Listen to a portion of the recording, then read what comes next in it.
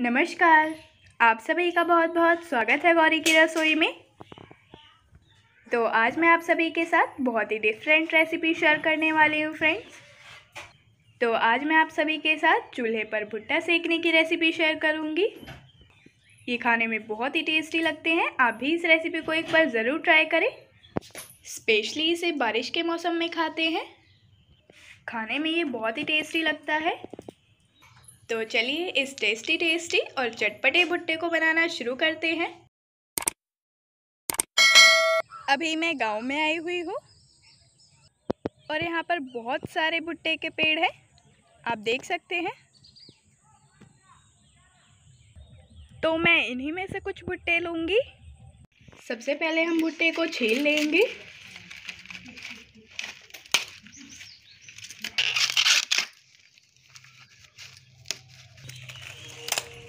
अब हम इस तरीके का एक टूल ले लेंगे। आप इसकी जगह पेचकस भी ले सकते हैं। और इस तरीके से इसे भुट्टे में घुसाएँगे, देखिए। आप देख सकते हैं, मैंने यहाँ पर पहले ही हाथ जोड़ लिया है। अब हम इस तरीके से भुट्टा सेकेंगे।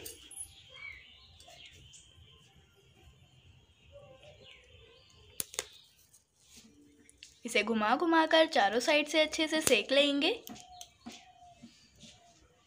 आप इसे इस तरीके से गैस पर भी सेक सकते हैं।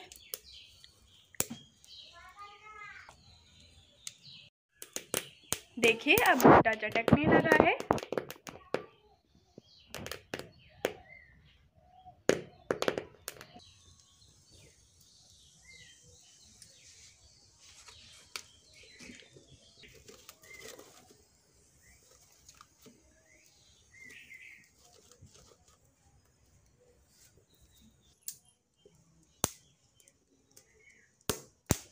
तो देखिए फ्रेंड्स हमारा भुट्टा कितने अच्छी तरीके से सिक चुका है। अब हम इसे एक प्लेट में शिफ्ट करेंगे।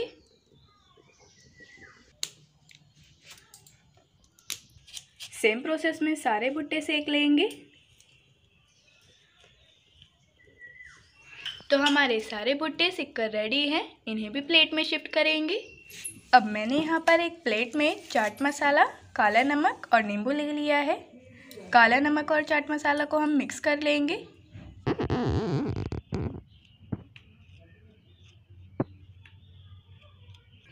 और अब इस तरीके से नींबू लेंगे और चाट मसाला और काला नमक लगाएँगे। और फिर इस तरीके से भुट्टे पे लगाएँगे। देखिए। इससे हमारा भुट्टा और भी टेस्टी लगेगा। सेम प्रोसेस में सभी भुट्टे पे लगा लेंगे।